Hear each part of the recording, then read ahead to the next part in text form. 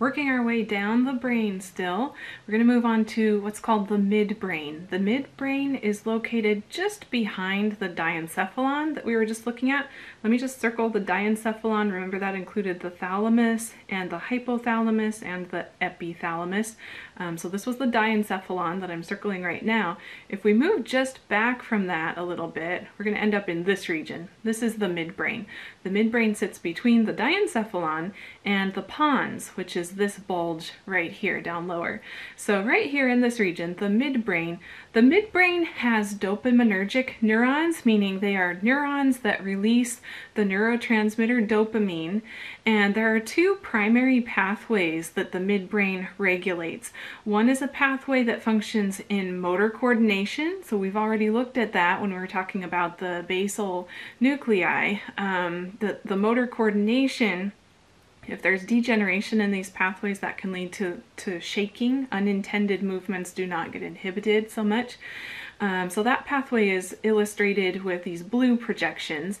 The other pathway here, shown in red, this is a dopaminergic pathway that functions in reward, experiencing um, reward for different behaviors. So if you set a goal and you accomplish that goal and you have a sense, a re that rewarding sense that you get at the end, um, that's usually because this is the pathway that is active in your brain. Dopamine is being released and causing that reward sensation. So this does definitely tie back in with the limbic system. Um, at this point, we're at a point um, in this chapter where it's it's helpful to keep in mind that there's a lot of overlap between the different things we've been talking about. These are not necessarily isolated systems.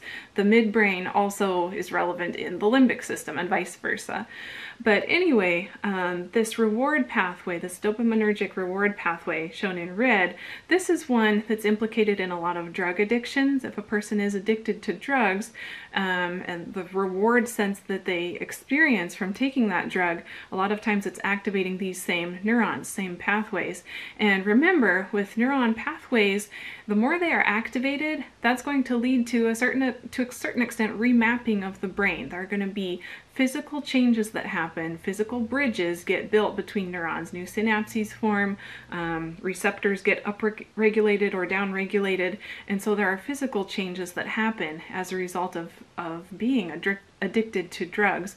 And so that, in part at least, is why it's so hard to get unaddicted. Um, once a person is, is hooked on this reward pathway, if they stop, then they don't experience that reward pathway, and it takes a long time in some cases for the remapping to occur to the more sort of natural setting that the brain originally had.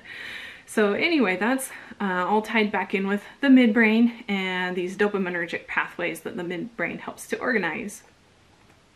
The hindbrain, moving down a little bit further, the hindbrain includes three key things. It includes the pons, it includes the cerebellum over here, and it also includes the medulla oblongata, which is this part down at the very base um, so what are these different regions doing? In the hindbrain, a few key things are going on. The pons, for one thing, this is housing the sensory and motor tracts that are coming from the spinal cord. So that's sort of like a major relay point between the spinal cord and the brain. Damage to the pons tends to be really, really serious. If a person um, has damage to the pons, then they may be completely paralyzed except for maybe they would still be able to breathe in some cases, um, but really serious. Damage to the pons is, is very serious because all of those tracts from the lower parts of the body have to come through this region.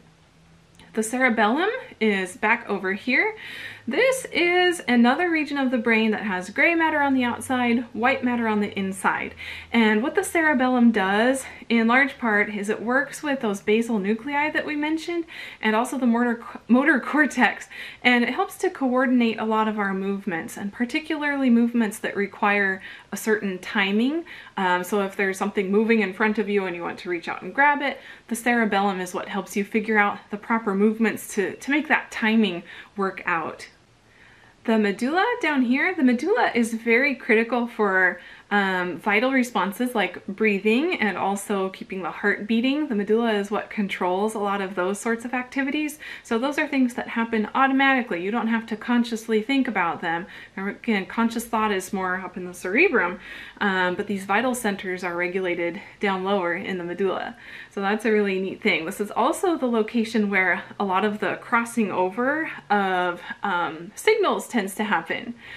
So right side of the brain controlling the left side of the body and vice versa. This is in this is in many cases where that crossing over or decussation happens. Before we completely move on from this region, of the brain up here. This is just a good point to note that there is a whole nother system. It's called the reticular activating system. And this is a very coordinated pathway of neurons that help, help us to be able to tune out sensory um, information and fall asleep at night. So the reticular activating system, I won't be testing you on like, details of the, the RAS, uh, but I would like you to know that we have a system and it, the system is very key for allowing us to fall asleep because um, it allows us to tune out that sensory stimuli and it also allows us to become alert when it's time to wake up. So restart being aware of sensory input again in the morning. So the reticular activating system, again, a whole network of um, neural pathways that are right here around the, around the midbrain.